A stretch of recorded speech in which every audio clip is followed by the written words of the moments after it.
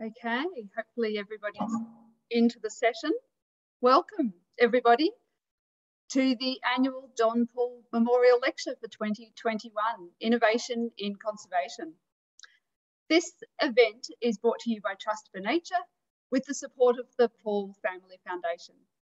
My name is Nikki Munro and I work for Trust for Nature in Northeast Victoria and I will be your host for tonight.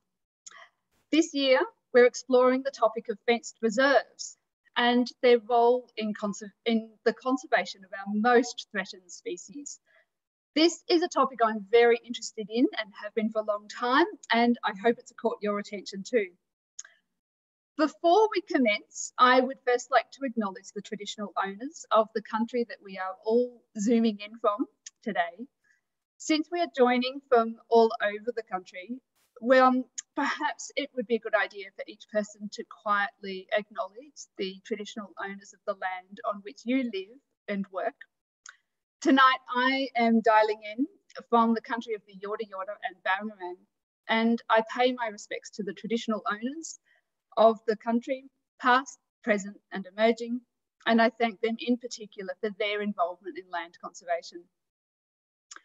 This evening's lecture is brought to you by Trust for Nature, Trust for Nature is one of Australia's oldest conservation organisations, established in 1972. Our core business is working with willing landholders to establish permanent protection on areas of very important native ecosystems on private land. This work creates a lasting legacy for future generations. This annual lecture series was established to acknowledge the impact of John Paul and his family. John was the former director of Docker Plains Pastoral Company, who sadly passed away in 2015.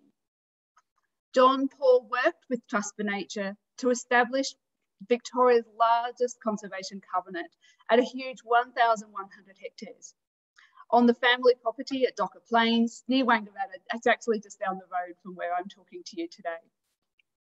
And this property is an outstanding example of balancing the protection for biodiversity with active farming. John was also a passionate supporter of traditional owners and his foundation gives ongoing support to the local Bangarang community. So thank you very much to Mary and the Paul family for this lecture tonight. So over the next hour we and a bit, we will hear from each of our guest speakers there will be time for a bit of a panel discussion at the end, or at least answering a few questions. If you have any questions, please pop them into the Q&A section of your screen and our panelists will answer some of these ongoing through the night, as well as some of our Trust for Nature staff, and we'll save one or two of the questions for the end. Before I introduce our guest speakers, I want to give you just a little bit of background. As you may know, Australia has a very poor record of recent animal extinctions, and much of this can be blamed on introduced cats and foxes, predating on our local, on our native wildlife, and rabbits eating our local plants, and changing vegetation structure. The mammals, particularly the ground dwelling mammals between sort of rat size and rabbit size, are the most impacted by predation and competition. So what can we do? Well, eradication across Australia is almost impossible at the moment, except on quite small islands. But we can create small islands on the mainland where we establish fenced reserves, remove all the feral animals from inside, and replace them with native wildlife that used to occur there. This is a relatively recent strategy stimulated by our appalling mammal decline and extinction but Australia now leads the way internationally on designing and managing such reserves, with over 30 fenced reserves currently in operation. Fenced reserves may be the only current viable option for protecting some of our most threatened species, but they aren't without challenges. So now let's hear from our guest speakers on fenced reserves and how far conservation can go. So I would now like to welcome the speakers for tonight's lecture.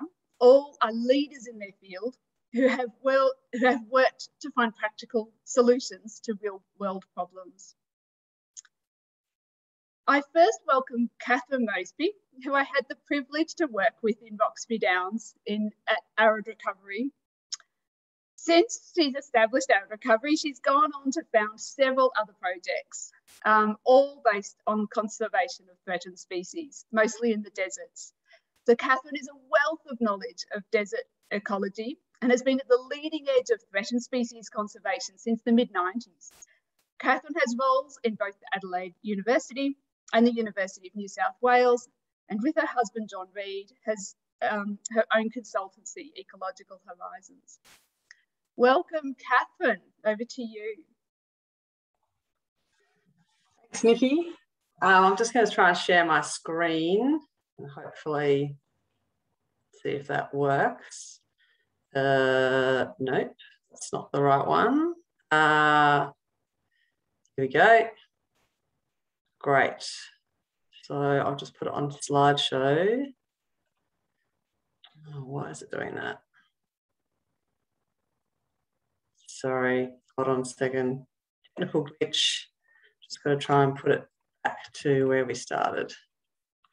Oh, it's good to go first, isn't it?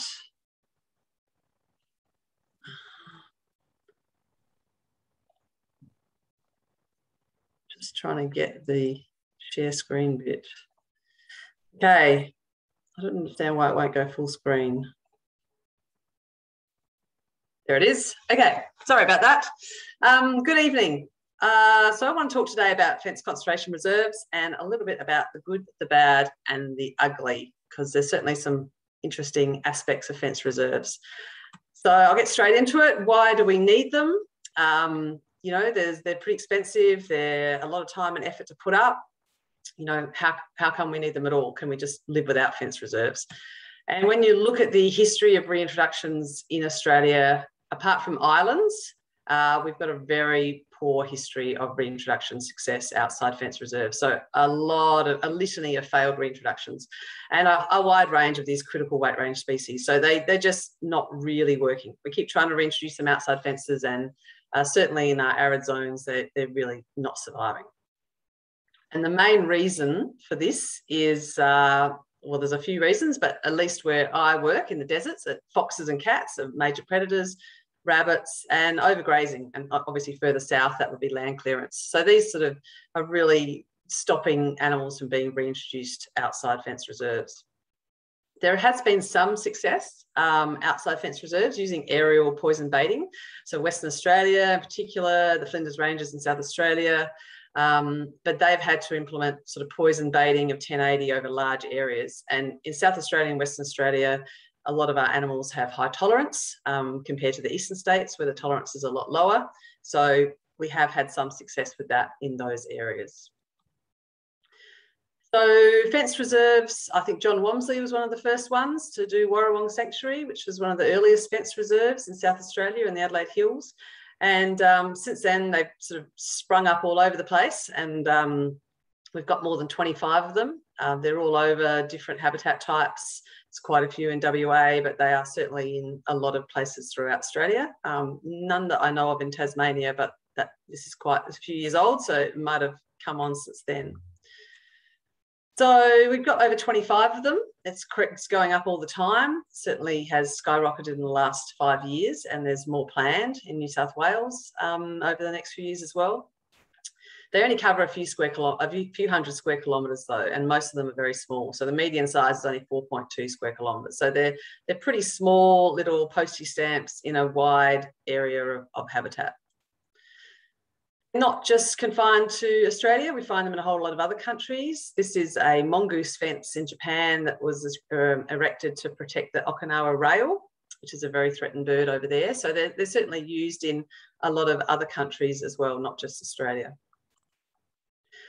And the fence reserves we have in Australia can sort of be divided up into three groups. We've got the, the single species emergency intervention type fence reserves, and they tend to be for you know critically endangered or, or single species focus. Then we've got the multiple species one where we put lots of different species in and, and try and get the numbers up you know as high as we can. And then there's more sort of ecosystem focused ones where we're trying to restore the whole ecosystem and, and re-establish those natural ecosystem processes. So we sort of see different exclosures in different categories throughout Australia. But I guess in a lot of cases, we see them as stepping stones. So you might start off with these insurance populations in zoos or islands, and then we move them into these sort of fenced reserves. But the ultimate aim, I guess, is to get them outside those fenced reserves and into managed landscapes and get that, that widespread recovery happening. So sort of see them as a stepping stone to, to wider spread recovery. So the good, the bad, and the ugly. I'll start off with the good. Um, and there's plenty of good with fence reserves, uh, otherwise we wouldn't keep building them. So obviously they work. Um, if we look at the reintroduction success of small mammals and medium-sized mammals in defence reserves, they're extremely successful. The ones that have failed have tended to fail through native predators, so things like aerial predators or pythons, that goannas, those sort of things. But in general, you fence an area, you exclude cats and foxes, and you reintroduce animals, and they they they start increasing pretty well straight away. So they definitely work from that perspective. So we co-founded Arid Recovery in 1997, which is one of the larger fence reserves in Australia. It's 123 square kilometres. It's got six compartments and we move animals between compartments and do some experimental reintroductions with different aspects of it as well. Um, and so it's been going for over 20 years now. It's probably one of the longer running exclosures in Australia. And the reason we started uh, arid recovery was uh, when rabbit calicivirus came through. I don't know if anyone remembers in about 1995, it was it escaped from Wardang Island and spread across Australia, and we had a massive reduction in, in rabbits. And that really was our stimulus to, to fence off an area and try and permanently remove rabbits and cats and foxes from that area and we had a great window of opportunity with the with the RCD coming through. And since that time, we have reintroduced five threatened species. So stick rat, the western barred bandicoot, bilby, burrowing bettong, and western quoll. Some of these, like the Shark Bay bandicoot and the burrowing bettong, are only found on offshore islands in Western Australia.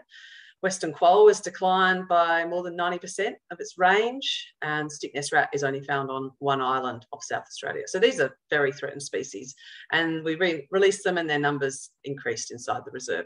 We also tried to release numbats and woma pythons, um, but both of those releases failed due to predation from native predators. So not only are we seeing differences in terms of animals being in the environment, we're also changing the whole soundscape. So this is a burrowing bettong, and when you walk around the reserve now, when you startle them, they make they make this noise. It's a it's an alarm call. I'll play it again in case we missed it. Um, so it's quite an interesting call to hear at night. And then the other noise we often hear with the bettongs, they do a lot of fighting between themselves. We get this sort of um, aggression noise. It's like a hissing noise. So that you know, they're changing the whole landscape. We, are certainly getting a lot of changes happening. It's not just the physical animals, but and things like um, bilbies that we've reintroduced. They're doing a lot of digging. This one's digging for ant larvae. And those foraging pits uh, provide seed germination sites and just um, increase the water infiltration and the carbon in the soil. So we're seeing a whole lot of ecosystem changes from releasing these animals. It's not just the ecosystem. Uh, it's not just the animals themselves. Another, I guess, one of the goods of, of fence reserves is it really can help improve our understanding. So a lot of fence reserves do monitoring inside and outside. They're getting a whole understanding of how the ecosystem used to work when these animals were in it. And um, that knowledge can then be applied outside the reserve at, at, other, at other, sites. So that's been a, a, real key thing that we've done at Arid Recovery. We've done a lot of fauna and flora monitoring. Uh, and some reserves, not all reserves are open to the public, but if you if you can, they've got they're a fantastic opportunity for education and public participation. People just love coming out, spotlighting at night, or being involved in releasing animals, and it's a really great way to get people back to nature and, and interacting with nature. And there's such few opportunities to do that these days. So fence reserves really play a really important role in that. So not just from conservation, but from, from education. And Arid Recovery's had thousands of groups come through. And I think that photo on the right is from Mulligan's Flat. So um, it's a bit too cold there to be Arid Recovery. So yeah, certainly happens at other fence reserves as well.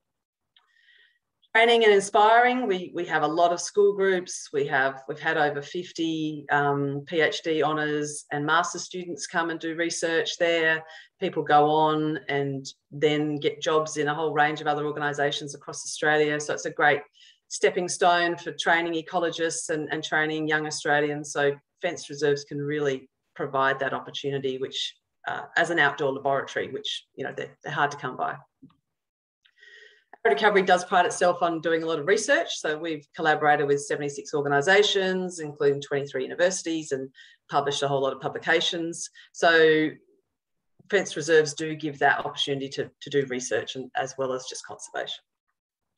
And some of that research can be really beneficial. So this is a stick nest rat that was reintroduced to arid recovery. They build these amazing nests out of sticks. And just from researching them, we found that over the summer months when it gets really hot here, they, they migrate and retreat to, to bettong warrens in the summer. So we now know that when you release these rats, we really need to have a co-release of some sort of burrowing animal in order to provide them with that thermal refuge that they need over the summer months. So this is pretty, pretty important research that can get done in fenced reserves. So the bad, it's not really bad. It's it's more like just things to watch out for rather than necessarily being bad in particular. Um, very expensive. Fence reserves can cost anywhere from you know 30,000 a kilometre up to 240,000 a kilometre, depending on the design. Um, so you could easily spend a million dollars on building it, removing pests, and reintroducing species. So they're they're very expensive. And I think the thing that that people don't realise is the maintenance and replacement costs. At Arid Recovery, we have to replace our foot netting every 15 years because it gets um, it gets rusted out by touching the sand, which is highly corrosive. So we've got a huge amount of money that we have to spend every 15 years in replacement, and then even maintenance every year. Um, things happen, sand builds up on the fence, you get holes under the fence. So it is a constant, it's a really big job, and it's it requires a really high level of commitment. Fences are a barrier to cats and foxes, which is great, but they're also a barrier to a whole lot of other species as well. So they stop kangaroos and emus moving through the landscape. We get bird strike and reptile death from entanglement. Um, they prevent natural dispersal of animals inside and animals outside. So, you know, when you're thinking about a fenced reserve, you really have to think about the impacts it might have on the in situ species and, and how you might be able to reduce them because there are definitely some of those negative consequences of, of putting a, a barrier up to a lot of species. Naivety, so you take away predators and you release animals that then don't have any exposure to predators and you end up with very naive animals that are not going to cope well when you want to release them outside reserves or they're not going to cope well um, in other natural situations. So you have to be very careful in fenced reserves that you don't just perpetuate and exacerbate prey naivety, which is due to that lack of co-evolution between these species and, and cats and foxes. So certainly something to be aware of, trying to have predators in the system. Inbreeding and loss of genetic diversity um, the smaller the reserve and the smaller the effective population size, the greater the risk of inbreeding and, and um, losing your heterozygosity. So it's, yeah, definitely an issue with fence reserves and, and we need to look at doing genetic swaps. We've just recently done some adding new genetics for our bilbies, but it's a, a constant issue that you need to be on top of and, and be monitoring and, and implementing unless you have a, a very large reserve. I think something that maybe people don't often realise is that some species don't benefit from fence reserves. So we measured a whole lot of in situ species, so little native rodents and little native reptiles inside and outside our reserve. And on the left there is the inside and the dotted line is the fence. And a lot of these animals are, are more abundant outside the reserve than inside the reserve. And this could be because you know, the, some of the reintroduced species like the bilbies are eating them. It can also be what we call trophic cascades. So when we got rid of the cats and foxes, the goanna numbers increased and goannas love to eat small reptiles. So that's also had a, an effect. So, you know, you build a fence, but not necessarily every species is going to benefit from that. So something worth thinking about before you put the fence up. And then we come to the ugly. So this is more ugly as in not ugly animals, but ugly situations. And one of those is overpopulation. So this is when you get too much of a good thing. And we've got an example here, arid recovery with our burrowing bettong, where the numbers have increased to proportions where they damage the vegetation. So you remove, remove predators and animals thrive. We went from 30 bettongs to over 6,000 in 16 years, and that number just started having a huge impact, browsing impact on our native vegetation. These trees on the left are native plums, which is a, a beautiful grove species that's really drought tolerant, um, completely defoliated by bettongs. And you can see as the bettong abundance went up, the vegetation damage also increased. So became a real problem as to what to do with all these animals. And it doesn't just happen in Australia, it happens all over the world. This is an example of a fenced reserve in the Netherlands where they introduced a whole lot of large herbivores and let the numbers build up and they had a mass starvation event, um, which is obviously an animal welfare issue um, in such a small reserve. So one of the things we're trying to do is add native predators to see if we can control all these bettongs. Um, you think a quoll might not be big enough bettong, but these are quite formidable predators and they certainly eat bettongs. Um, but again, when you introduce a predator, you need a large area to support a large number of predators. I guess the other ugly situation with fence reserves or muddy situation is this halo effect. So this is the the thinking that you animals build up inside the reserve and then they self-release outside and then you end up with a, a beautiful halo around your fence reserve where the, the animals are surviving outside. Well, we actually tested this arid recovery with our threatened species. So most of them can get out either as juveniles or they can climb over the fence. And we didn't have a halo for any of the reintroduced species at all. So they were climbing out of the fence, but they weren't surviving. We even released some outside the fence and they weren't surviving. So, um, you know, there are examples of halo effects, mostly in birds in New Zealand, where they've emigrated out into the suburbs. So, you know, that sort of gives us hope that we can get to that point. But when you look at the um, examples in Australia, we really don't have good examples of halo effects here. These are the only two halo effects that we did detect. These are two native mice that are just naturally found inside the reserve and they've increased since we got rid of the cats and foxes. And the dotted line is the fence.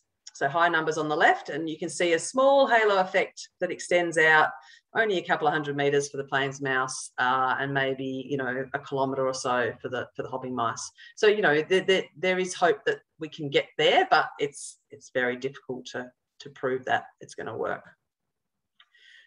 So in terms of a vision for fenced reserves, I think it's really great to have these conversations and it would be great to have them at a national level as well. Like where do we want to go to with these fenced reserves? So in my opinion, we want large naturally functioning areas where natural processes can be maintained and animals can continue to evolve and adapt.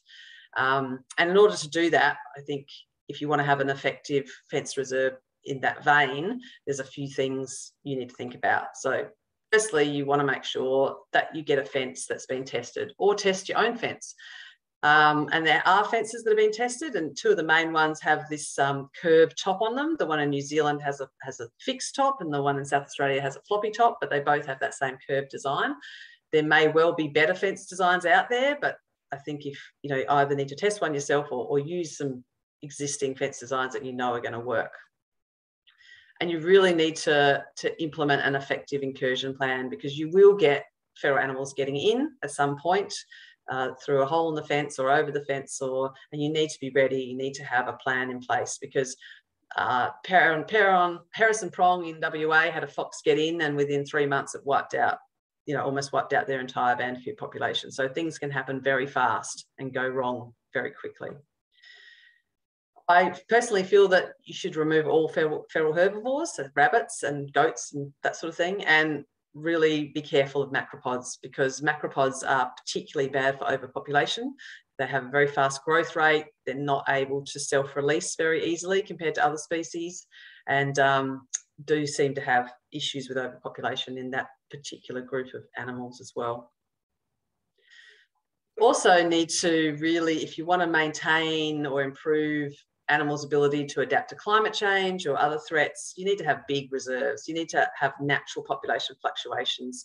And arid recovery animals during drought decline, but then they bounce back again. And, and that's what you want to see. You want to see a natural fluctuations in population that, that don't lead to overpopulation or, or catastrophic decline. Really part of that is about limiting your supplementary water and food. If, if you're providing supplementary water and food, you're probably setting yourself up for overpopulation because you're sustaining those populations at a level higher than they would naturally be there. And this is a really difficult issue with fence reserves, particularly small fence reserves, because sitting there and letting animals die during a drought is not something people want to do. And there's animal welfare issues. And so I think this is a, a topic that needs a lot more discussion around Australia and, and how we're going to solve this because if you keep adding food and water at, at, you know in large amounts you're basically creating a zoo situation and then your ecosystem starts to decline in its in its um, condition uh, and if you want to restore ecosystem function and have a functioning ecosystem, you've got to make sure all of your trophic groups are represented. So you want to make sure you've got your predators, your competitors, your detritivores, your scavengers. You want to really try and get animals from a wide range of those trophic levels. Um, and you also think about your order of reintroduction. So you want to get your ecosystem engineers in first. They're going to dig your holes that your stick nest rats can shelter in in summer. They're going to sort, turn the soil over and increase your, your vegetation recovery, that sort of thing. So thinking about what order you're going to put animals in is, is really important. And don't forget what's already there. And in some cases, when people talk to me about whether they want to put a fenced reserve in, they've already got a pretty special species there. And so you don't necessarily need to reintroduce things. You can just protect what you've already got. Um, a lot of the native species are going to respond amazingly from removing cats and foxes. Um, so you don't necessarily have to add anything else to the equation. You can just protect what you've already got through fenced reserves as well. And this we touched on touched on before about dispersal, not only within the reserve, so about having a large enough reserve to allow young animals to disperse freely and not sort of get stuck in the home ranges of their parents, but also having leaky fences that allow them to, to get out as well and hopefully survive outside the fence if you can get your predator control down long enough. So make sure you put reserves where you can expand out or if you can get a halo effect to work. You know, if they're surrounded by agricultural land, then it's going to be it's going to be difficult. And lastly, choose wisely. So fence reserves are certainly suited better to some species and some areas. Smaller species definitely, so you can get that viable population size up. People talk about 500. It's a bit of a magic number, but you certainly want to have you know large numbers if you can to allow that fluctuation. You want species that can get out through your fence. You're going to have a lot less issues with um, overpopulation if they can self-disperse. Large areas, Rainfall is a big one. Wherever you have hilly areas or areas with high rainfall, you have creek lines and drainage lines, and they're very difficult to fence. You're going to have huge issues with incursions every time you get a rainfall event. Some work they did in New Zealand found uh, incursions happen can happen within 30 minutes of getting a hole in the fence. So things can happen pretty quickly and go downhill pretty quickly. Um, and yeah, be careful of macropods. And um, because of that long-term maintenance issue and fence replacement issue, you really need to have that long-term funding secured before you start. So thank you very much for listening. Thank you, Catherine. That was fantastic. I had such a wonderful time working with you in Roxby at Arid Recovery. It was so amazing to be witness to the return of bilbies and bettongs and stick nest rats but oh my goodness, that damage to the native plums there was something. Um, thank you.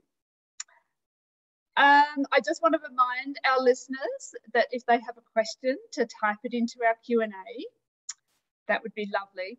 And now we'll come to questions at the end, um, other than those that are being asked. So now I would like to welcome Adrian Manning. So Adrian is a professor uh, in ecology at the Fenner School for, of Environment and Society at the Australian National University in Canberra. And Adrian and I, and I worked together at Mulligan's Flat Woodland Sanctuary in the ACT, where we did a project on the role of bettong digs in turning over soil and ultimately the role of digging marsupials in restoring ecosystems. Welcome, Adrian. Thanks, Nikki. Just share my screen there. Um, so uh, I'm going to talk about um, Mulligan's Flat Woodland Sanctuary, um, which didn't start out as a fence sanctuary, but had been reserved as a result of the community um, campaigning for um, a nature reserve. and we were asked in the, in the first instance to come and do some research on the ecosystem, the way to improve the ecosystem. And then the whole project snowballed to the point where we built a, a, a predator-proof fence, a sanctuary, and then that allowed us to do reintroductions and so forth. So Mulligan's Flat is in the north of uh, the ACT. It's um, largely what's called critically uh, endangered box gum grassy woodland. We've got about um, it's about 1,600 hectares, and we've got 1,200 hectares in predator-proof sanctuaries. The original sanctuary that everyone knows is the 485 hectares uh, around Mulligan's Flat. So we've had a partnership there for about 16 years, starting with the Mulligan's Flat Goorooyarroo woodland experiment. And then uh, they developed the idea of a predator-proof sanctuary uh, and an independent trust that works with us and the government. And we've also been, we learned from uh, Arid Recovery and visited Catherine and the team over there back in 2006, and also Zealandia in, uh, in Wellington that sort of informed our thinking about how we would create our sanctuary. And more recently, collaborating with, with Odonata. Um, and one of the key things about sanctuaries is uh, I think they're as much about people as they are about animals and nature. And it's about the relationship of people um, and their local place. Uh, and it's really important that people feel a connection and are involved in, in sanctuaries. We see um, Mulligan's Flat a lot like arid recovery about restoring the ecosystem, but also learning as we do this and then inspiring others. And if you if we think about sanctuaries in Australia, places like arid recovery inspired us to create a sanctuary at Mulligan's Flat. And now we're involved in creating sanctuaries elsewhere. So it is really a catalytic um, process of creating and supporting sanctuaries and learning from each other. So when we think about where, where does Mulligan's flat sit, we kind of see ourselves in, in, in the center of a, a, a continuum from the, the, the, large open wilderness areas and more conventional zoos and open range. We are animals live essentially as wild in Mulligan's Flat, and it's really a place where we are, in terms of reintroducing species, rebuilding populations of its in situ species, hopefully improving conditions and as, uh, as Catherine mentioned, was talking about, they're actually a stepping stone um, back out into the wild beyond, beyond the fence, as we sometimes call it. Um, and of course, beyond the fence is really challenging and there's a lot of work to be done there. So sanctuaries uh, sit in that place between captive populations and refuge populations where we rebuild, we learn, we train animals so that ultimately we can we can get them out out there back it back uh, beyond the fence. now, one of the uh, key things that we think about when we're thinking of Mulligan's Flat, we've we've we've think about the loss of species in the ecosystem, and this is something. This causes something called shifting baseline syndrome, which basically comes from fisheries science. And this is the idea that our benchmark for the environmental quality is based on how the environment was when we grew up or when we were young and we were learning. And this example here from fisheries science uh, when populations are good, fisheries scientists benchmark good populations. So if you're fisheries science here in the North Atlantic looking at cod, this would be a benchmark. If you're a fisheries science in the 2000s, your benchmark would be different. And it's the same thing in ecosystems. So um, if you, uh, we have our own shifting baseline uh, in places like Mulligan's Flat, where we've lost species since the 18, 1800s. And, and our idea is how can thinking about how we can reverse that shifting baseline. And as Catherine was talking about rebuilding the trophic relationships, the food webs, we think about Mulligan's Flat as a food web, and we're, we're putting animals back into that food web to make to improve the function, and also managing the uh, the existing in situ vegetation and, and species as well as part of that. So in our original experiment, pre-fence, we worked with the ACT government to look at ways of improving the woodlands. We added 2,000 tons of dead wood. Um, we burned some areas uh, with controlled burns with the help of the ACT government. We controlled kangaroos with uh, exclusion fences. So we had kangaroos in some places and not in others. So we could look at that, that effect. And then over the last 16 years, we followed the ecosystem and the response of the ecosystem to the different treatments. Now, as we built the partnership with government, we started to think about building predator-proof fence, and that's where Mulligan's Flat Woodland Sanctuary, the idea of Mulligan's Flat. And you might see that fence is a bit familiar because it's essentially the fence from arid recovery adapted to a woodland setting. So there's an example of how we how we learned. We built that fence in 2009. And what that allowed us to do then was to think about reintroducing species that couldn't otherwise uh, come back. And we've been, uh, since 2009, been experimentally reintroducing species to Mulligan's Flat. And also Mulligan's Flat is a great place to take people, um, decision makers and show them what's possible and not just talk about Mulligan's Flat, but talk about sanctuaries around Australia and talk about conservation. And when we're uh, doing our uh, reintroductions, we we look at we look at what we do as as different tactics for success, and we try different tactics. One's focused on animals, on the animals themselves, the genetics, um, the behavior, and also the environment. How can we manipulate the environment? We try things. If things don't work, we try something else, and that's the way we try to think an adaptive approach to our reintroductions. So with the um, Eastern Bettong. Um, we uh, when we started, we didn't know exactly which bettong uh, was um, in our area, but what we do know is they were highly abundant. So you couldn't plant potatoes in the district around Mulligan's Flat because uh, bettongs were so abundant. And you can imagine the turning over the soil, the size of that process that would have been there. So once we'd identified the eastern bettong, which luckily for us was still in Tasmania, we um, um, we brought it back from Tasmania and uh, we didn't want to just bring the animal back, but we wanted to bring the processes that were associated with it. So we started an adaptive process after identifying the bettong, and it took us three years from that point to actually reintroducing them into Mulligan's Flat. And there's a lot of trial and error in that, uh, as there are in the other in the other sanctuaries. And then once we reintroduced the bettong, We've had a program of monitoring the population, how things have changed through time as the population is built, and also the impact on the ecosystem. Um, and including the work that Nikki was talking about that we collaborated on looking at that lost ecosystem process that the Bettongs brought back. And then building on our learning from the Eastern Bettong, we've gone on to reintroducing species like the Eastern quoll, uh, and and um, second from the left is Belinda Wilson, who is our PhD student who's worked on the reintroduction of uh, the Eastern uh, quoll.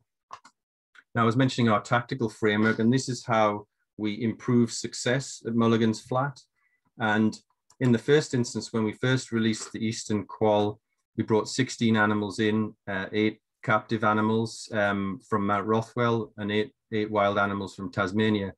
And in that first season, we brought uh, males and females in pre-breeding, and we only had 50% survival. And this was because the males fought with each other and went over the fence, and some were predated by foxes. So we we we looked at what happened there, and we thought, well, what can we change to improve it? So the following year, we brought only females in with pouch young.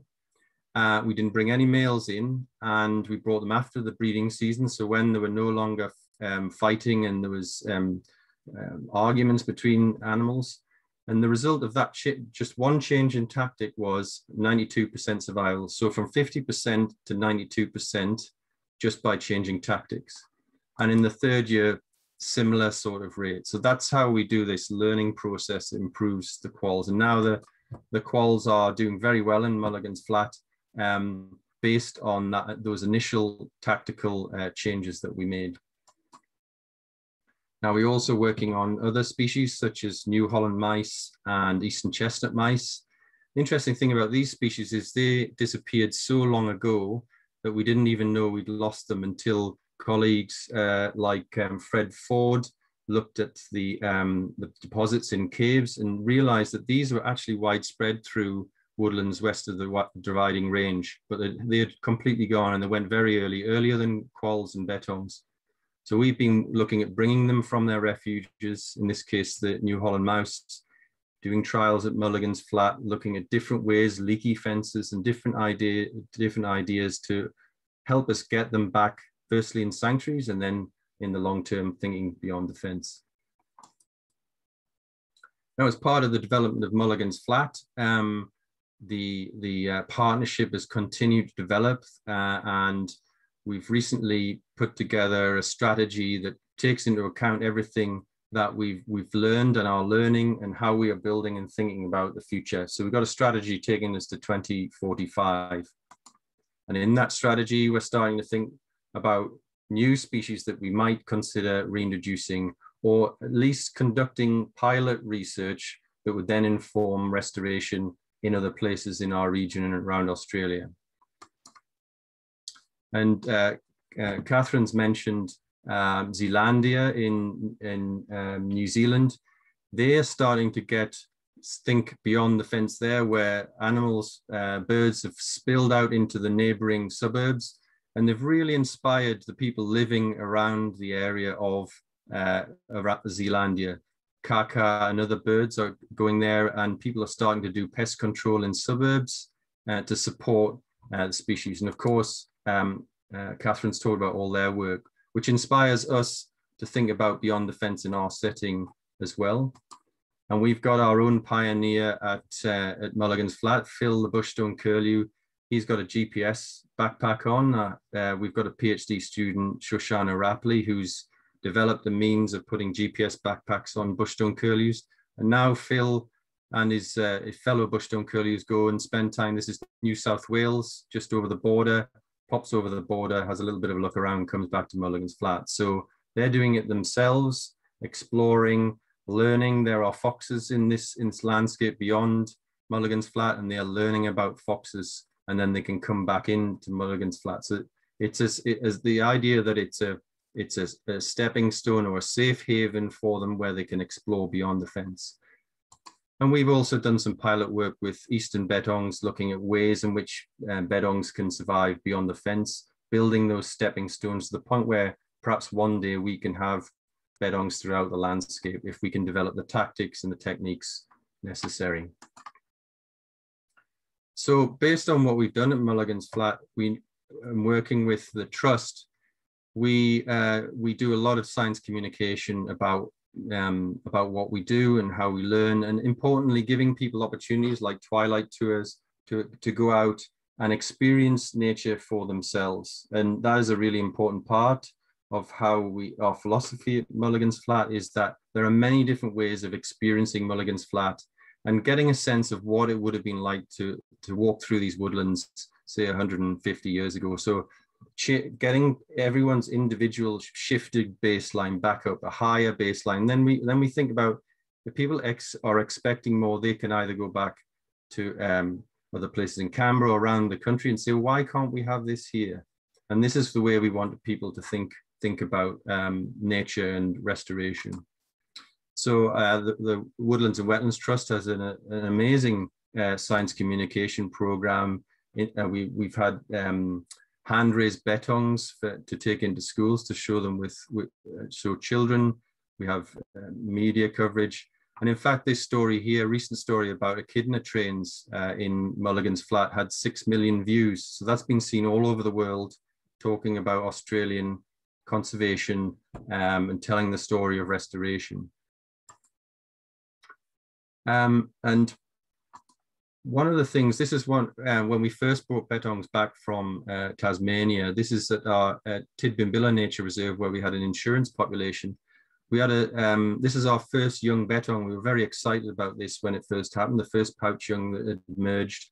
And um, the staff down there called him Stuart Little. He was really uh, a real, real character. And we realized then that the power of an animal like a Bettong to encapsulate the whole idea about the restoration of the ecosystem. And also um, with, here's our quolls. This is just after the release of the quolls. Um, and we put this uh, bit of footage on social media and got a lot of views on social media. And you can see the power of being able to engage people and show them something that they would not otherwise have seen. Um, and these these eastern quolls um, got a lot of attention in this video, got a lot of attention showing you what our native fauna look like when they're, when they're out there. You wouldn't otherwise see them. And then um, the um, taking everything that we've um, we've been building through Mulligan since 2004, 2005, the next stage was we were we were thinking about well, how do we continue to build um, that experience and that engagement with the community? And and our next step, um, working with Odonata, who we've been collaborating with on conservation projects, but now thinking about having a meeting place where people can come and find out about the research, not just at Mulligan's Flat, but all other sites, um, such as Mount Rothwell and the other sites around the country. So our next step in our journey, if you like, Mulligan's Flat is the construction of the Woodland Learning Centre, which is, is, um, is almost complete now. And this is a place where ourselves, the researchers, the managers in the park service and the trust will we will will work there together and the community will be able to come and hear talks about um, about what we do in Mulligan's Flat. This will be the point where people will take night walks. Um, we will also have lectures for students from university. We'll host media events. There'll be some opportunities to meet um, some of the fauna um, there. And really, uh, we're thinking about how we can um, really engage people um, in any way possible to tell them the story and, and, think about, show them how we can raise that shifting baseline. And we're now at the point where, as I say, we're, we're almost complete and we will have a home where we can tell our story about Mulligan's Flat. And this will be where we will build um, in the, uh, the extended sanctuary, which is Guru Guru Yaru next door to Mulligan's Flat, which is our next 800 hectare um, sanctuary. And as you saw at Arid Recovery, once you start with one sanctuary, you can build, you can make them bigger, and that's what makes it possible for you to do more things, have bigger populations, and experiment with new ways of improving the ecosystem. And that's our story so far. Thank you, Nikki. Thank you so much, Adrian. It really gets me thinking that when we go into national parks, I often look at them and wonder what they would be like 200 years ago and just how different they would be. And I really love your thoughts that projects like Arid Recovery and Mulligan's Flat are stepping stones to other projects, um, which then multiply across the country. And for everybody listening, Adrian himself has gone on to work on other projects and to expand and has done a fair bit of work with our next guests. So I would now like to welcome Annette Rypalski and Sam Marwood. So Annette is the Biodiversity Director of Mount, at Mount Rothwell Reserve near Geelong, which is currently the largest predator-free reserve in Victoria. Um, Mount Rothwell is part of Odonata, an organisation with innovative ideas and practice around integrating conservation and production. Mount Rothwell has been instrumental in protecting some of Victoria's most threatened species and it networks closely with um, various zoos in managing the small populations of our threatened species. And Sam is the CEO of Odonata, and he spent many years trying to change the way we do business um, in Australian agriculture, including supporting new young farmers to get onto the land. And I'll let him introduce his latest scheme. So, welcome, Annette and Sam. Thanks, Nikki, for the lovely introduction, and thanks to Trust for Nature for having us as guest speakers. Um, this is going to be fun because um, I'll be talking for the first part of it, and uh, Sam will be driving the presentation. So we'll see how in sync we are with um, whether he can get my social cues on the next slide. But um, Sam will talk after me, and, and we'll go from there. So um, yeah, as, as Nikki mentioned, uh, yeah, we've we've been working. Uh, yeah, well, I've I've personally been working with um, Mount Rothwell for since 2003. So I was technically employed by um, John Walmsley, back in the day with Earth Sanctuaries when that was first started. So, um, and then transitioned into um, Mount Rothwell and Odonata. Um, so, long, long history and nice long journey with um, Mount Rothwell, which has been wonderful. Um, and of course, we, we held the longest record for um, being Victoria's largest fenced sanctuary until we broke our own record just recently uh, with our sister property, Tiverton, which is now twice the size of Mount Rothwell and um, has eastern barred bandicoots freely running around the place, which is really cool, which I'll talk about a little bit later. Um, so, well, that was my first slide anyway. we'll uh, move to the next one. You're failing, Sam, already. there is a delay, it looks like. okay. Um, yeah, so so Mount Rothwell is 480 hectares in size. Um, and we've, uh, yeah, held it for, for about 18 years, that record. Um, but we've been constructing, you know, we, we started fencing the area and eliminating the pests and reintroducing the, the native animals, you know, 21 years ago. So really long history in um, reconstructing that ecosystem. Um, because we did adopt the sanctuary from, from Earth sanctuaries back in the day, uh, there was quite a bit of work that had to go into cleaning the area up. So we had to remove non-endemic species and um, you know basically rescue some of the genetics in in some of the remnant populations there. So so there was a little bit of work in in cleaning up uh, the animals that we had and prioritizing what we focus on. Um, but we're, we're sort of on track and we think we've got a really good model going forward.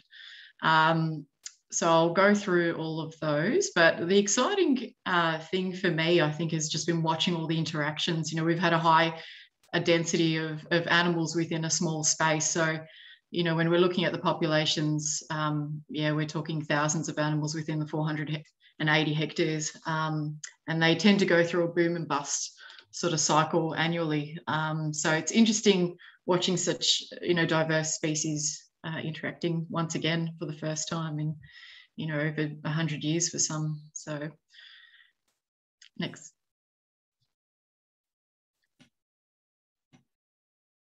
So uh, some of the key species that we've been working on, um, we introduced eastern quolls in 2002 and we started a, a captive breeding program and back then it was it was quite difficult to to source quolls and so we i think we slipped them through south australia and crossed the border into victoria. And um, we, we tried our hardest to to you know maintain the genetics there. We knew that was a critical um, management action to to ensure the population you know successful into the future. Um, but it wasn't until really 2009 that we actually sourced new genetics and we developed the markers and started producing um, a genetic management program around eastern quolls. Um, and of course, we, we partnered up with Mulligan's Flat and um, developed the, the program even further and allowed us to um, source unique genetics from the wild, but also um, allowed us to exchange our animals across both sanctuaries, which is exciting and um, has obviously had a wonderful impact. I know uh, when we first started with Eastern Quolls, we only had fawn animals and we imported black uh, quolls. They're, sort of a, um, a throwback on, on the gene, and so you get about 10% which are black. We tried for years and years to have black offspring, and they never bred black offspring in captivity. And as soon as we introduced them into the into the free range sanctuary, we started seeing black quolls running around. So um, that's a real obvious indicator of uh, genetic diversity um, so as once we started introducing new genetics into the captive program, we started seeing black offspring. So we knew that was a, a good, yeah, great indicator. Um, and the eastern barred, barred bandicoot is, is, of course, you can see it all in the media lately. Uh, the population has been booming. Uh, so we sourced 24 quolls from the program in 2004, um, and they were on the increase since then. We've maintained uh, the most genetically diverse population on the mainland for the longest period. Um, and our numbers peaked in 2012 to about 1,200. And they've been fluctuating over the seasons um, from about 700 to about 1,500. Uh, at the moment, they're probably booming to our highest numbers. So I wouldn't be surprised if they're over 1,500 just at Mount Rothwell alone. Um, there was uh, a, a, real sign that the genetics were were failing on them. So we were starting to see a few faults within their populations. You've, you've got to remember they were thought to be extinct and rediscovered in the tip in Hamilton. Uh, there was, I think, 63 uh, there, and about 40 or so were harvested. Uh, 19 genetically represented, and these established the captive breeding program for the next 30 years. So um, we needed to increase genetic diversity into the population. That's where we started working with Melbourne University. And uh, they basically genotyped everything and worked out how to increase uh, the diversity in the population. That was by bringing in their cousins from Tasmania, which was an interesting experiment. You know, I think it's only happened three times in Australia. Uh, so it was in mountain pygmy possums, uh, rock wallabies, the southern brush-tailed rock wallabies, and now the eastern barred bandicoots. Um, and I think only four times in the world that this had happened. So two, two uh, subspecies that have been isolated for almost 20,000 years. We weren't really sure what we were getting into. Um, the Tasmanian uh, animals were about twice as big as the Victorians. And uh, when they bred, they bred successful young and fit and healthy young. Great um, diversity amongst the morphometrics. So looking at the ear sizes and the coloration and and also uh, yeah equal sex ratios. So that's all good indicators of these animals being fit and healthy and feistier. They bred really efficiently um, and they didn't show any of the faults that we had seen on the mainland population. So real positive story there. And uh, to top that off, we uh, introduced 40 just last spring into Tiverton. Uh, so Tiverton is now Victoria's largest fence sanctuary, and that site will support ease. I'm pretty sure it'll easily support 3,000 animals. So um, for a program that's been running for 40 years, potentially supporting yeah four four and a half thousand animals uh, is really exciting from the original 60 that were discovered um, way back when. So we're super excited to be part of that one. Um, Southern brush-tailed rock wallaby is also another outcrossed animal. So we're hybridized, we're outcrossing them with uh, central brush-tailed rock wallabies. And again, you know, quite a low um, founder size in the captive program. Um, so we are increasing genetics and managing them for that reason. Um, as Catherine touched on, macropods can be really interesting um, in a fenced reserve. And our advice is always, again, if you if you do get involved with a macropod breeding program, you need to have a plan, an overflow plan. So rock wallabies are a brilliant animal where, you know, there are some in the wild and, and we can play that role in supplementing them or at least building the numbers up high enough to do a mass release. So there is that opportunity to overflow into the wild. Um, and, and that is um, the, the, plans for the recovery of the rock wallaby. Uh, we are setting up a, a, new site with, with our partners as well in, in Avenel, and uh, that's a new and upcoming rock wallaby site, which will potentially support over 200 animals, and that will effectively double the size um, in the first stage. That is, in uh, the second and third stage, we might get them up to about 5,000 individuals. Um, so another species that we have the potential to downlist and um, making having great success with in that species recovery. Um, Bushstone curlew, uh, Adrian mentioned in his presentation. So we're uh, probably a little over successful in the captive breeding on this one. Uh, we've currently got or nearly about 45 and they're breeding really early. So we're expecting about 60 or so by the end of summer, um, which is exciting. And uh, we get to overflow these guys. So uh, hopefully we'll be looking at a release in the ACT soon. Um, so very exciting to be tracking those and learning more about them and eventually, or ideally we'd love to get them back in Victoria and, and learn about um, whether we can re-establish them beyond our fences. Uh, the Eastern Bettong uh, is, a, is another partnered program with Mulligan's Flat and uh, Adrian, and we have we were part of the uh, rescue program from um, the ACT fires that occurred in, in the Brindabella Ranges. And we, uh, yeah, ended up moving um, quite a few bettongs from, from the ACT just before the, the areas got burnt. Um, so yeah, they, they have been introduced into our woodland and are happily hopping around finding their mates. But it's a very early days since um, they've only been there in the last year or so. Um, and southern brown bandicoots, of course, um, they're a, probably an underrated little animal. They're uh, they have been upgraded to to endangered from from threatened, and we've been we've had them hopping around, and we're about to develop that program a little bit further and learn more about them. These species all play important ecological roles, so we're sort of seeing them as priority species for recovery, and certainly something that, that we think we can contribute to. Uh, this is a little video. So this is uh, an idea of some of the interactions that occur in summer around a very popular waterhole. Uh, so you've got everything from swamp wallabies, bettongs, quolls. So that's an eastern quoll there. This is a big thumper of a spot tail quoll. Um, so we have reintroduced a number of different species. Um, yeah, there's uh, swampies there and eastern greys and a possum.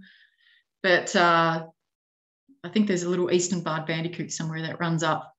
So you can see they're all quite civil around a waterhole, um, but they all run away when that spot tail quoll comes over. So they're pretty clever in doing that. And that's quite an important uh, behavior trait there, you know, that they they know who to look out for, they know how to hide from danger, and um, that's exactly what we wanted them to learn when they're within the fence. And I suppose that's the um, distinction that, that I think we like to make. You know, captive breeding has a role, and um, free range uh, fenced sites are, are, basically a stepping stone to get them back into the landscape. And so it's critical to teach those behaviours back into them. Um, at Mount Rothwell, we've got 16 um, birds of prey listed and the densities are, are, through the roof. You know, it's it's like an aerial show. Avalon Air Show has their own show. We've got our own show at Mount Rothwell. Um, there's constantly a, a, bird of prey in the sky trying to hunt or predate or swoop on all of us, um, and that does occur throughout the night with the with the owls or into dusk. So these guys uh, have a bit of pressure on them, and um, yeah, not only from the raptors but also from the from the quolls in the landscape.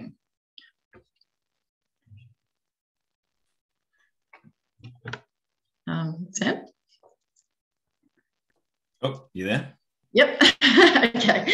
Uh, so, yeah, these are just some of the numbers uh, that I've mentioned through the programs. I think I've basically ran through most of those, but you're welcome to have a read through that. I won't read it all out because I think I'm hogging all the time.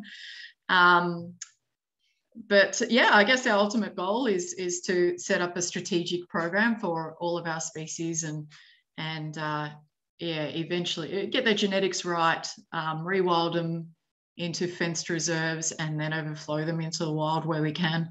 Um, and along the way, hopefully pick up a, a, bit of information that we can apply um, to ensure that any wild release is successful. But it is also holding that, um, you know, pre preventing the extinction in the first place. So it is just a temporary hold site. Um, I know there's, you know, at least three species that would be at least functionally extinct if we weren't directly involved in, in you know, a fence site or fencing them in. Um, so again, I probably have touched on going through um, all the individual species, but this is just some of the science that we sort of apply at, at Mount Rothwell. We work with, uh, you know, Australian National University with Adrian Manning and, and uh, Melbourne University with Andrew Weeks. Um, so we've got great advice. We, we certainly don't. Um, we, we aren't the science people. we are, we take the advice. We like to apply the operations. Um, and so, yeah, we've, we've got the outcrossing program through Melbourne Uni for the Eastern Barred Bandicoots and Southern Brush-tailed Rock Wallabies. Uh, we genetically manage, we have management programs for the Eastern Quoll, Bushstone Curlew, Eastern Bettong. We're about to set up one for the Rufous Bettong, uh, Southern Brown Bandicoot, and also Long-nosed Potoroo. Um, we have an our, our intent is to set up a metapopulation management program.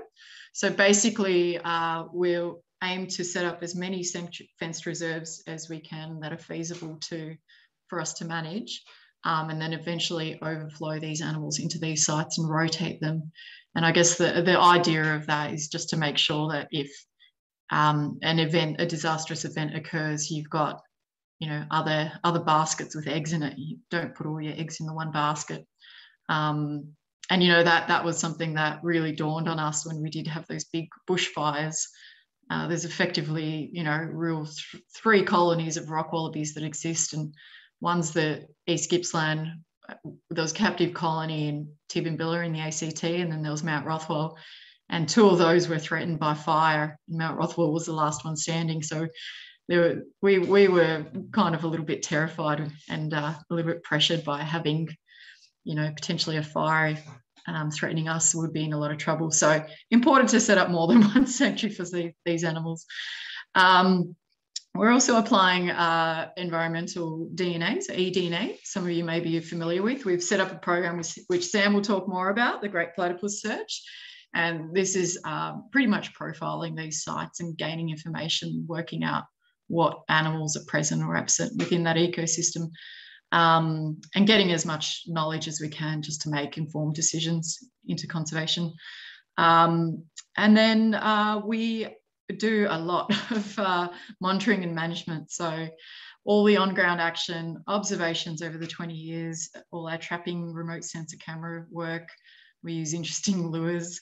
Um, and you've got to get really creative with some of these things to, to know what you're looking for and to influence uh, things. So we also use um, tracking collars and uh, thermal drones across our properties.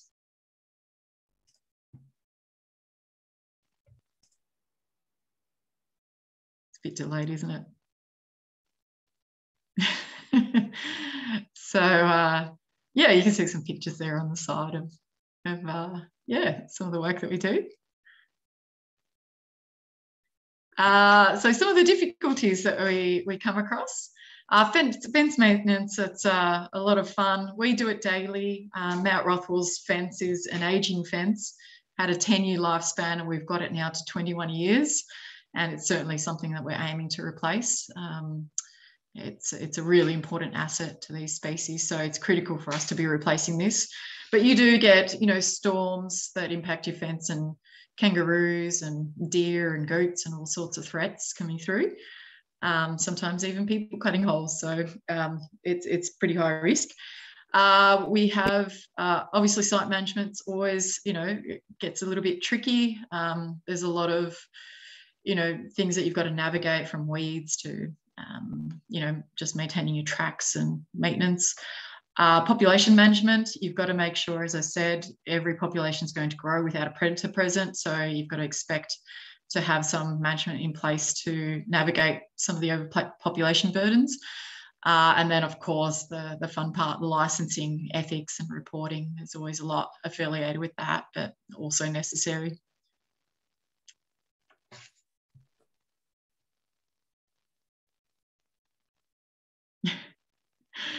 A little bit slow. uh, so currently, yeah, Tiverton our largest fence reserve in Victoria. Um, it nothing compared to Catherine Moseby's site, but uh, we're pretty excited about it. Um, so yeah, it's a unique model. It uh, integrates farming and conservation. So uh, yeah, we, we're applying uh, strategic grazing across the site. So effectively what you do is you, you crash graze an area in spring when all your weeds come up. And uh, that allows your natives to to come over summer. And you're you're controlling your weeds in your area. You're feeding your sheep. You get to make some money off your stock. Uh, we've actually won awards in uh, the wool. So they've got a higher finer higher tensile wool. Something special about the wool. Um, and you know because they're feeding on native pastures. So you've got great wool you've got money coming from having sheep on your property and you've got bandicoots running around the place. Uh, and we will introduce eastern quolls to the site. So this site did have a large population of east, eastern quolls. So we're really looking forward to see what interactions will occur. Will they be feeding on the sheep's after birth? Will, be, will they be lining their nests with this high tensile wool. They'll be very spoiled uh, quolls. So and they'll be living in the rock walls apparently. So which we have plenty of. So we're really excited to see how that pans out. So we'll uh, yeah, we'll just probably. I think I've I'm running over time, so we might have to. I'm going to be hogging hogging Sam's time in this. I think that's why he's delaying the slides. Where are you up to? Or up to Odonata Innovation? Yeah, no, you can we've you can skip through this one. Here we go. Yep, that's the one. Uh, so some of our, our uh, innovative applications, we've uh, we use conservation dogs and they hunt our rabbits or tell us where the rabbits are and then we remove them. Um, they learn to navigate their way around native animals, so they know all the native animals. Um, they'll wait at a hole, tell us there's a rabbit in there, and wait for the quoll, the bandicoot, and the bettong to jump out before they catch the rabbit for us. Um, we've trained a dingo to find fox poo, and we use this fox poo. Uh, we send it to Melbourne Uni, and they profile it for us, and we know who's left in the sanctuary, and we can stalk it and hunt it down, and the dingo helps us find them. Um, and we've been, um, yeah, pretty much involved in a lot of rescues and, and returns. So we've had to get a little bit, we're quite reactive in, in thing, in, you know, events that, that need action quite quickly. Um, so we can really, you know, pack up some things and get things ready and move things, shift things around so we can predict or prepare for, for any future um, rescues. We have a plane, which is kind of cool. Our neighbour has a plane it's not it's not that plane though, is it? it is. Oh, not that plane. No, no, no. No, that's the ATF did the great rescue there. Um, right. So this is uh, is this you, Sam, or is this me? This is your last one, and then I'll jump in. The last one. So, so this is um, I guess our map, our map into the future. So where I was talking about the meta population plan, um, our intent is to set up all these sanctuary sites. And so far, we've got these penciled in. Um, so, uh, yeah, you can see where Mount Rothwell is in Tiverton. Uh, those ones are established. Which was getting just about fenced now. We're starting pest eradication. Mulligan's well established, our sister, our, our partners. Um, we have Sunland, which is a, a wetland area for turtles. Arana Park, which, or around a sanctuary, which will be our Bushstone Curlew site and the Grampians and the Stony Rises. So we've got a, quite a few coming online and it's quite exciting to have these dotted across the landscape. And our intent will be to roll these out right across the um, southeast coast of Australia, which I assume Sam will be talking a bit more about. So I'll pass it over to him. Thank you. Uh, thank you, Annette. That is brilliant. So, so Sam Marwood, CEO of Odonata, and uh, I get to support and get around Annette and, and Andrew Weeks and Adrian Manning and support them in their great work with our sanctuaries and expanding network of sanctuaries. And so I just want to talk about the momentum we've built as an organization and centered around Mount Rothwell and Nigel Sharp, who's the founder of Odonata and the owner of Mount Rothwell. He's been doing this for, for 18 years and working with Annette on that. And you know, I feel like I've had the privilege to come in and, and see this amazing work and, and support support uh, helping to end extinction of, of key threatened species uh, in Australia. And so we've built this momentum. You know, Odonata has only been around for about five years, um, and we've built this momentum, and we've realised the model of supporting private landholders to be part of the threatened species solution is, is really empowering. And a lot of landholders are coming to us now, uh, you know, a bit like Nigel Sharp was and, and other landholders um, who, who were mentioned here today already. Um, and I know there's some actually watching who are part of our, our potentially expanded network of sanctuaries, but there are landholders out there who love the idea of being part of any extinction and maybe having a sanctuary. And I'll talk about how we are sitting back and thinking about well where are the sanctuaries that we need what are the species we want to focus on now that we've we've got some lessons under our belt with these sanctuaries and we know we can support others but we want to do it cautiously and we want to do it with people fully fully aware of the difficulties you know that catherine's been through as well highlighting but also the excitement uh, the revenue you need to be able to keep these things going. So i'll talk through that very quickly to say how we are trying to expand and build on on the work that's that's happened in the past the, key point here is around business models. We feel that is the strength that we have as Odonata. We're here to encourage landholders, entrepreneurs, and find different ways to bring in revenue to fund conservation, particularly around these sanctuaries. So farming, as Annette went through there at Tiverton Sanctuary, how you can integrate that into the business operation to fund these sanctuaries, tourism, offsets, and we are continually exploring. I'll, outline how we're encouraging those those entrepreneurs to come up with those business ideas. But we do have a lot of um, landholders come to us. And so that's made us sit back and think about, well, what do we really want to do here? And, and so we've created over the last year or so our vision as Odonata uh, around threatened species. And this is our vision that we've crafted around what we want to do by 2050 have Australia's once threatened species thriving outside the fence in healthy and productive landscapes. You know, that's that's the thing that gets up us up in the morning to keep fighting for what we're doing. And we believe our role is not to do this ourselves necessarily, but to have our core research properties, but use that to empower others, other Australians to get on and, and save threatened species. So to do that, we've got these four pillars, of which the sanctuaries are, are, one of them. Our first is around research. So we've been working with Andrew Weeks, who's been amazing with our research uh, around genetics with our threatened species, but he's an expert in this environmental DNA that, uh, again, Annette, uh, Annette talked about before. But we're rolling out uh, the Great Australian Platypus Search at the moment, which focuses in Victoria, but expanding across Australia to take water samples to understand where our wildlife are. It's going to be the most comprehensive uh, uh, wildlife survey in Australia, maybe the world, very definitely the, one of the largest citizen science projects. And I'll touch on that in a second. But through these pillars, we want to have a comprehensive understanding of where our wildlife are through this eDNA. We want to support sanctuaries, so the second pillar about research, set up these sanctuaries and, and explore where the next sanctuaries could, go or should go um, to boost the populations of threatened species. We want to, this third pillar, we want to get in and support landscape scale projects that are out there already across Victoria and you know everywhere Western Australia, Gondwana link.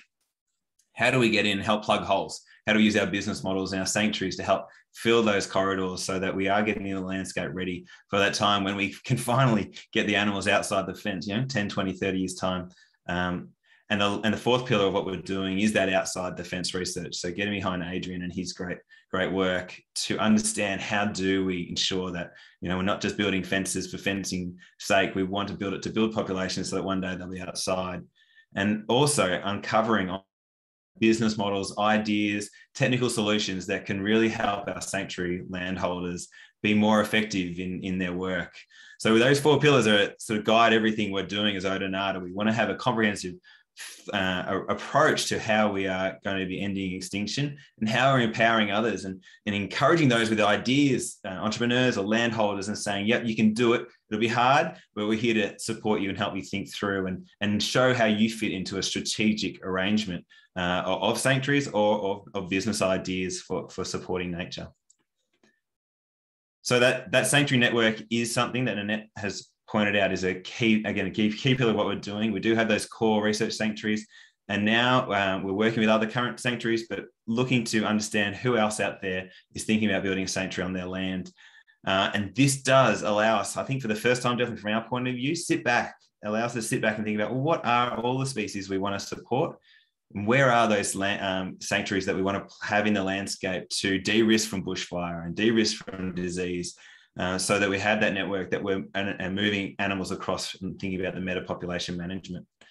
So we've established a mastermind program which kicked off about a month ago. We've had 70 landholders over the last year or two say to us, hey, they'd love to think about a sanctuary. And we're just a small organization trying to figure out how do we share our knowledge most effectively. So this is a, a bit of an open call to anybody that if you have land and thinking about a sanctuary, we can you can jump into this program uh, and learn with other landholders and with us around what your sanctuary property could look like uh, and go through all the hardships. You know, we'll, we'll tell you all about the difficulties of setting up a sanctuary, but we want you to understand as landholder what that would be to have a sanctuary like this and allow you to sit back and think about where would your property sit in a strategic point of view sometimes as again as catherine was saying maybe you don't need a fence uh, but you'll be working alongside other landholders working through you know what what is the best outcome for your property for species and how you fit in the network so that's been really an exciting and empowering thing to do and again once we uncover more of these landholders, we can sit back and, and really think strategically about where we need these sanctuaries in the landscape.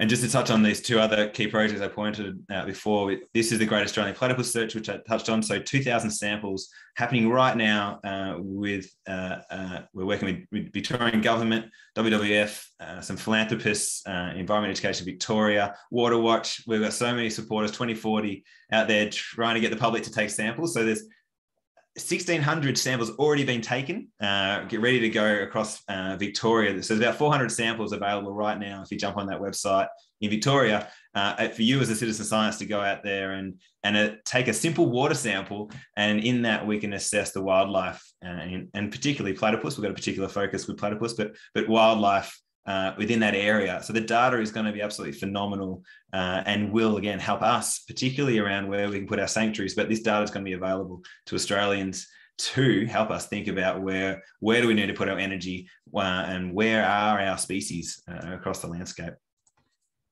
And then wild idea. This is a another thing you can jump on if you do have those ideas around business and nature that's what we love to support particularly you know, to support our sanctuaries and our entrepreneurs out you know landholders out there trying to do good for threatened species. So we've started a business incubator our fifth program's kicking off uh, in 2021 uh, 2022 sorry.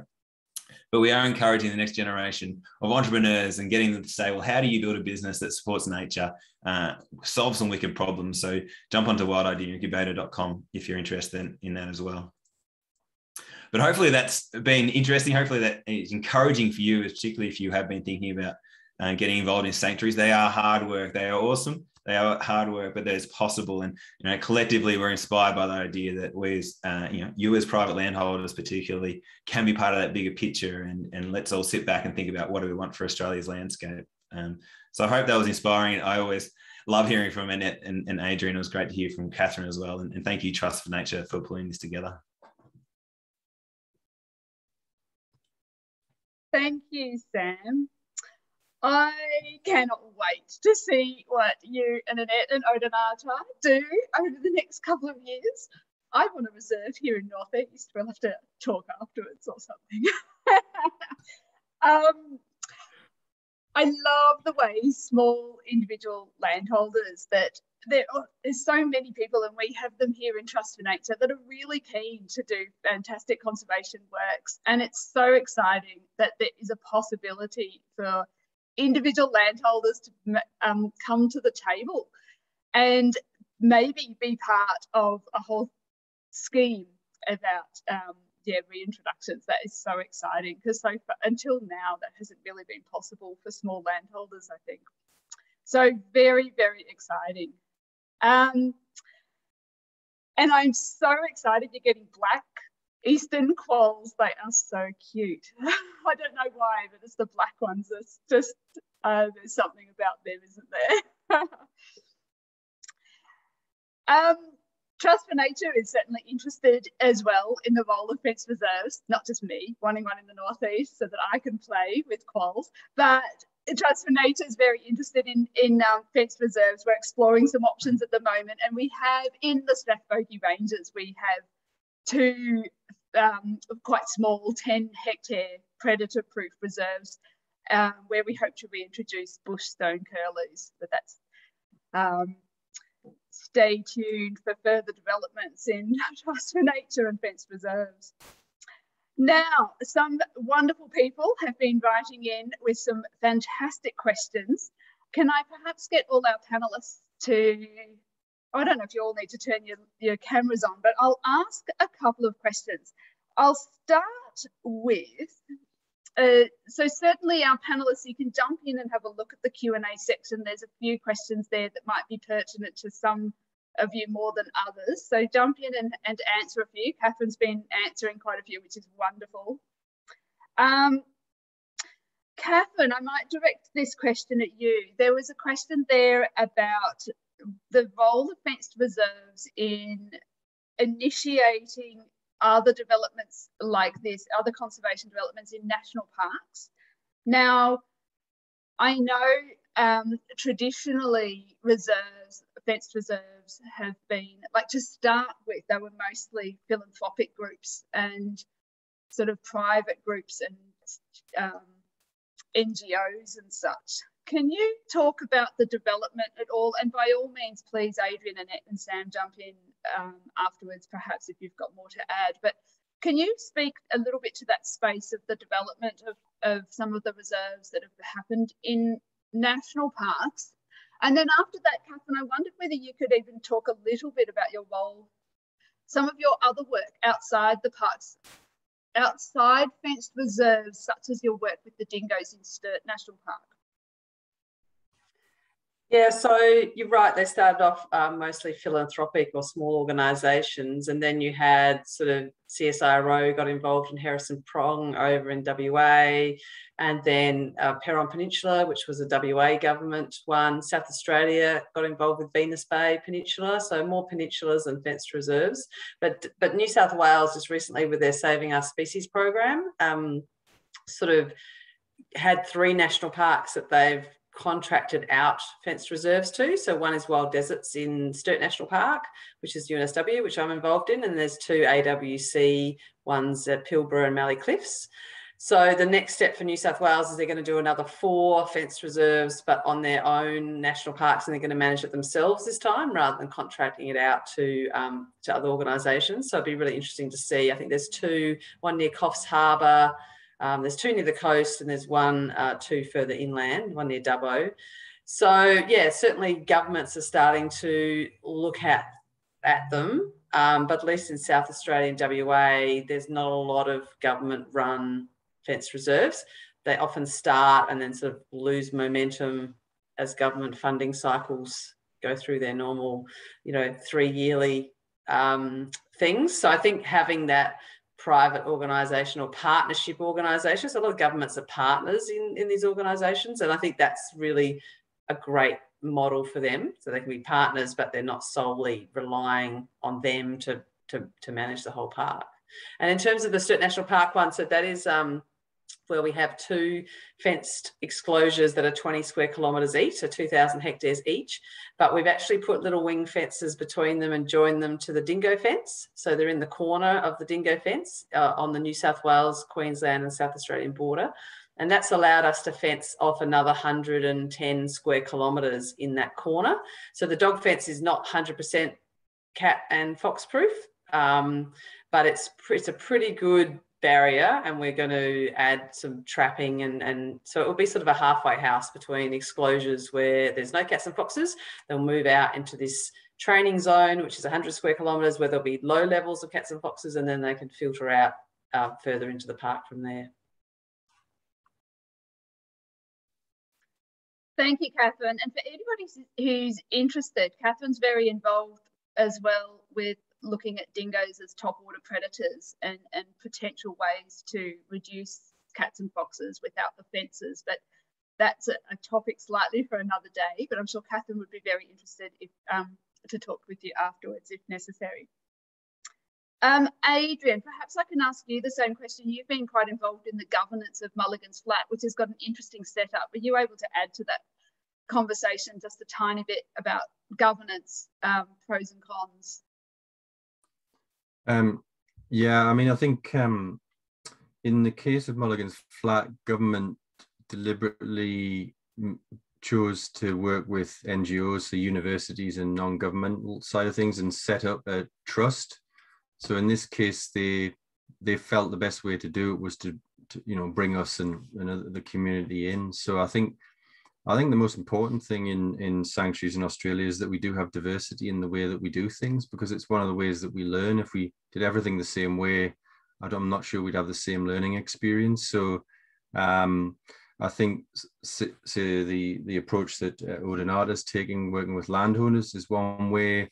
Wholly run by government is another. Partnership and NGOs are another one. And I, I would I think we should do all of them and see see what works and what are the best models. I certainly think our model um, with an independent trust working with partners has really been great because each partner brings a different part to the partnership.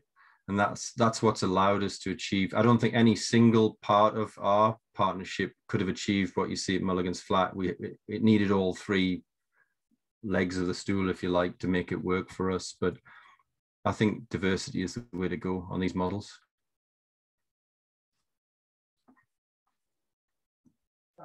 Thank you, Adrian.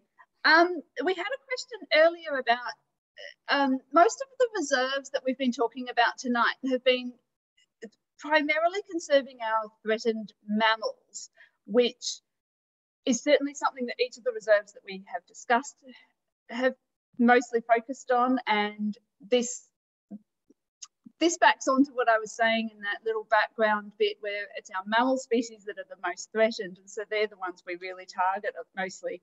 But sometimes there can be key plants in fenced reserves. Um, I know we can have small plots all over the place, but I'm wondering whether anyone would like to speak about key plant changes. I know maybe Adrian, this is one for you. I know that there's been a lot of research done in Mulligan's Flat on the changes to the vegetation due to the fence and and such. I wondered if you could speak to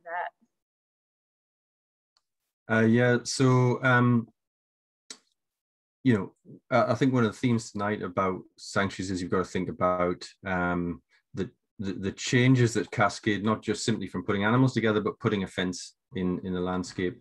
And part of our original experiment was around managing that um, different levels of grazing. And you, what, what it's created in Mulligan's Flat is you get a kind of diversity of biomass that you, or, or grasses and, and so forth that you wouldn't otherwise have. And we've been doing research on those differences.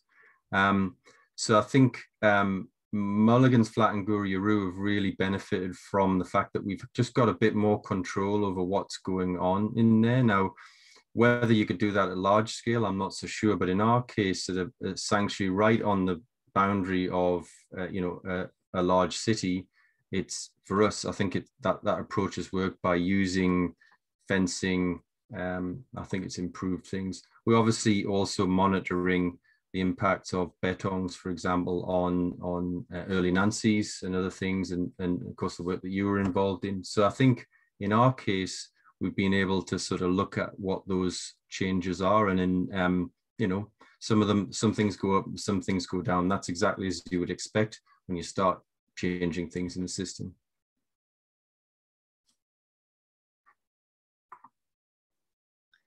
Thank you adrian. It's getting late. Um, i think we might leave it there and so I thank everybody for their questions. If the panelists would like to have a look at any of the last questions um, and see if they can answer any of those, that would be wonderful. But I want to conclude that, first of all, it's very hard for us as a society and a government to accept some of the risks and some of the, the difficulties that have come up tonight around fenced reserves. But I think one of the first failures uh, is not attempting anything in the first place. And we really need to work at this. And something that, you know, that story that Annette was talking about, about trying for so many years to get these species, you know, and they've got down to so few, that is so key to, you know, that's such a good example of conserving these species. And if we don't have our fenced reserves and we don't work on that, that species would have been lost. And so without the hard work and the dedication of people like tonight's people, Catherine, Adrian, Sam, and Annette, our extinction record would be a whole lot worse. And so I thank our four speakers for both the amazing work that they do, for their um, and for bringing their incredible insights here to us today. And so thank you for speaking to us. I also want to thank our wonderful listeners for attending tonight. Um, I hope you enjoyed the lecture as much as I did. I certainly really, really enjoyed it. It was absolutely wonderful. And I hope you feel super inspired and to maybe do some work in this space.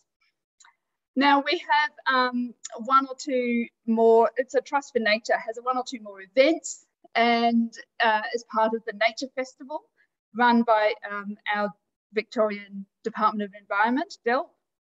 So check out the Nature Festival. I believe someone has put the particular events in the chat line.